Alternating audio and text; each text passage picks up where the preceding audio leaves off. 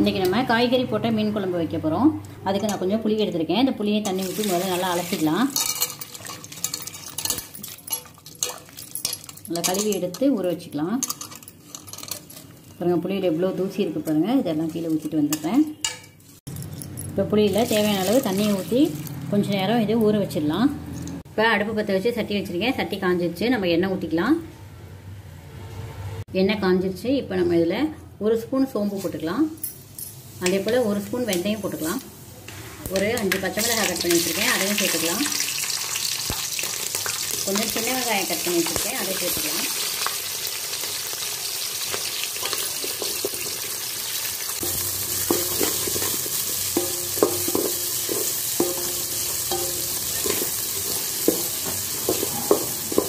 கொஞ்சம் கருவேப்பிலை சேர்த்துக்கலாம்.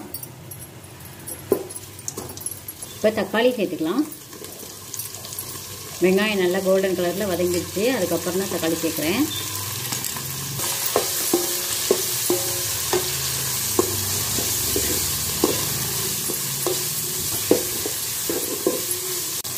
தக்காளி நல்லா வதங்கிடுச்சு. இப்போ கொஞ்சம் கத்திரிக்காய் சேர்த்துக்கிறேன். பண்ணி வச்சுருக்கேன் கத்திரிக்காய்.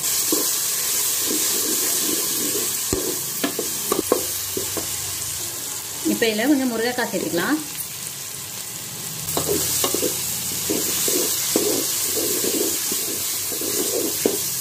எல்லாத்தையும் ஒரு அஞ்சு நிமிஷம் நல்லா வதக்கிக்கலாம். ஒரு ஸ்பூன் மஞ்சத்தூள் சேர்த்துக்கலாம்.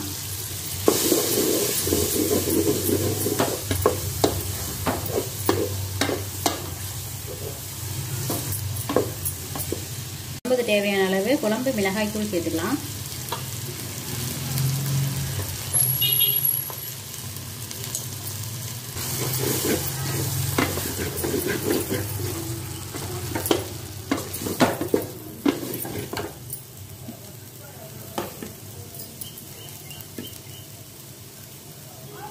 இதுலேயே நம்ம குழம்பு தேவையான அளவு கல் உப்பு சேர்த்துக்கலாம்.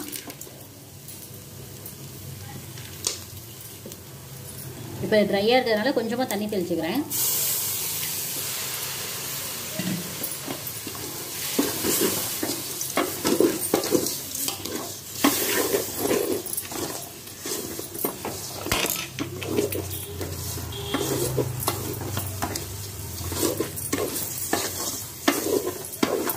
இப்போ நம்ம ஊற வச்சுருக்க புளியை நல்லா கரைச்சி நம்ம இதுக்கு தேவையான புளி தண்ணி எடுத்துக்கலாம்.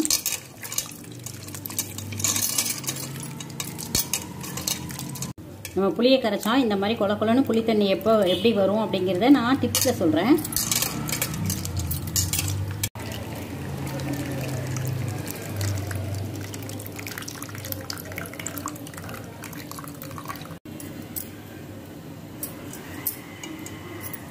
புளி தண்ணி கரைச்சி எடுத்தாச்சு. இப்போ இதை நம்ம குழம்புக்குள்ளே சேர்த்துக்கலாம்.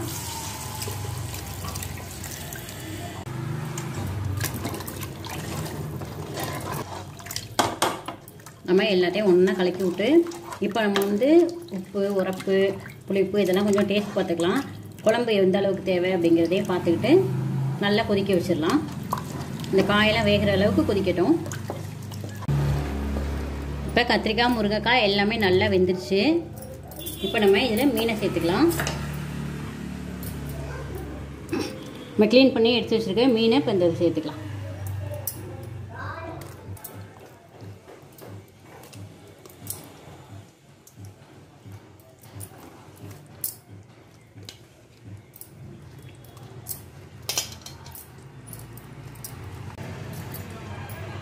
இப்போ நம்ம சட்டியை பிடிச்சி ஸ்லாப்பி விட்டுக்கலாம்.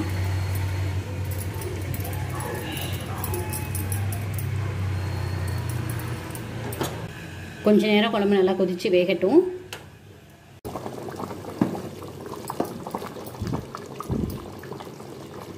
நல்லா கொதித்து மீன்லாம் நல்லா வெந்துருச்சு. இப்போ நம்ம அடுப்பை ஆஃப் பண்ணிடலாம். மீன் போட்டதுக்கப்புறம் ரொம்ப நேரம் கொதிக்க வேண்டியதில்லை. இப்போ அடுப்பு ஆஃப் பண்ணிடலாம். நம்மளுடைய கத்திரிக்காய் முருங்கைக்காய் மீன் குழம்பு சூப்பராக ரெடி ஆகிடுச்சு சூடாக சாப்பிட்டால் சுவை அதிகம். வாங்க போய் சாப்பிட்லாம்.